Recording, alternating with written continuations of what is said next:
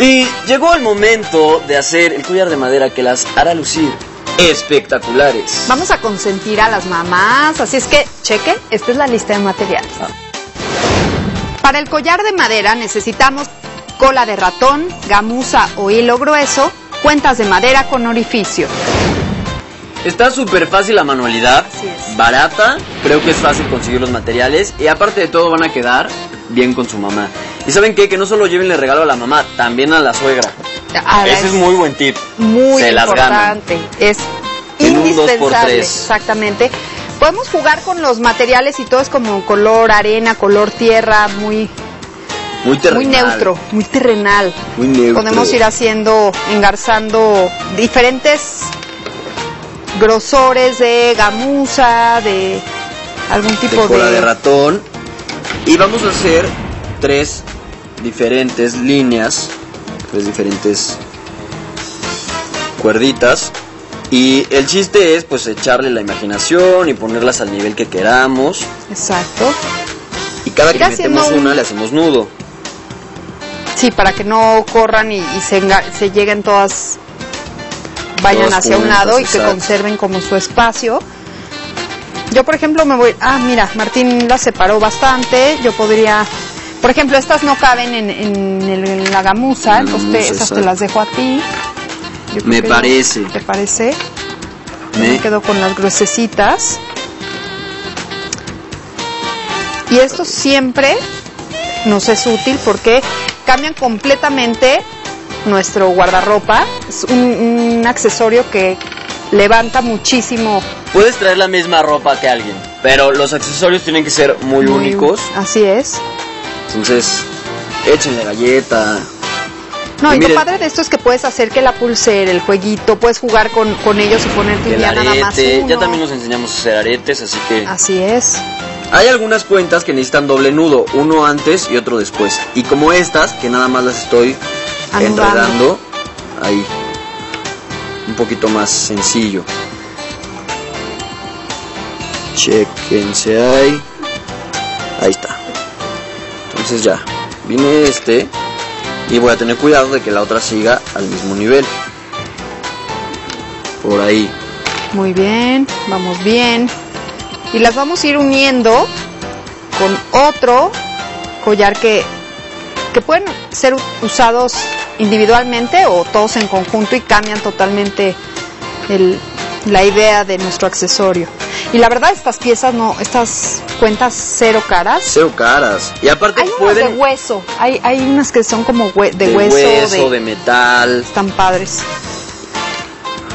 ¿Te acuerdas cuando hicimos con, con Con aquella semillitas. herramienta unas semillas bien padres, cierto? Claro. Hasta de También melón, de girasol. Eso es muy padre.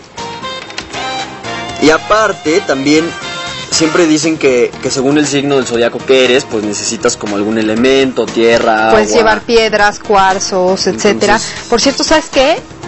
Está buenísimo un programa ayudarnos. que acaban de estrenar es los lunes, se llama Do- Las 12 Casas. Las 12 casas. Está buenísimo, Para que te digan cómo te va a ir en la semana. Exacto, cartas astrales, que la verdad no por nada, pero es bien atinado. Y aparte bien tecnológico, ¿eh? Porque Sí. tiene su pantallita y que no Acá sé qué. sí la mueve. Hasta rituales. además. Hasta rituales hacen. Estoy aquí un poco Ahí hacen amarres y, y desamarres. y desamarres. Depende lo que necesitas. Muñeco vudú, no, eso no. Cálmate, pestañas. Esos los hacemos Esos aquí. los hacemos con con fieltro, exacto. No hay, no hay pierde. Y miren, ahí está. Oye, es que este no pasa ni. Va agarrando. Va agarrando ondita. Y ya le voy a poner la última. Para empezar a hacer la siguiente.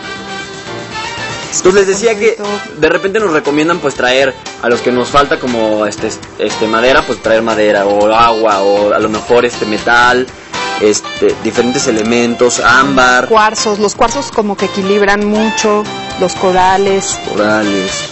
Y con todo eso podemos hacer joyería o traer en, en la bolsa, las mujeres hacen un saquito con estas piedras y bueno, sirven para protección, etcétera.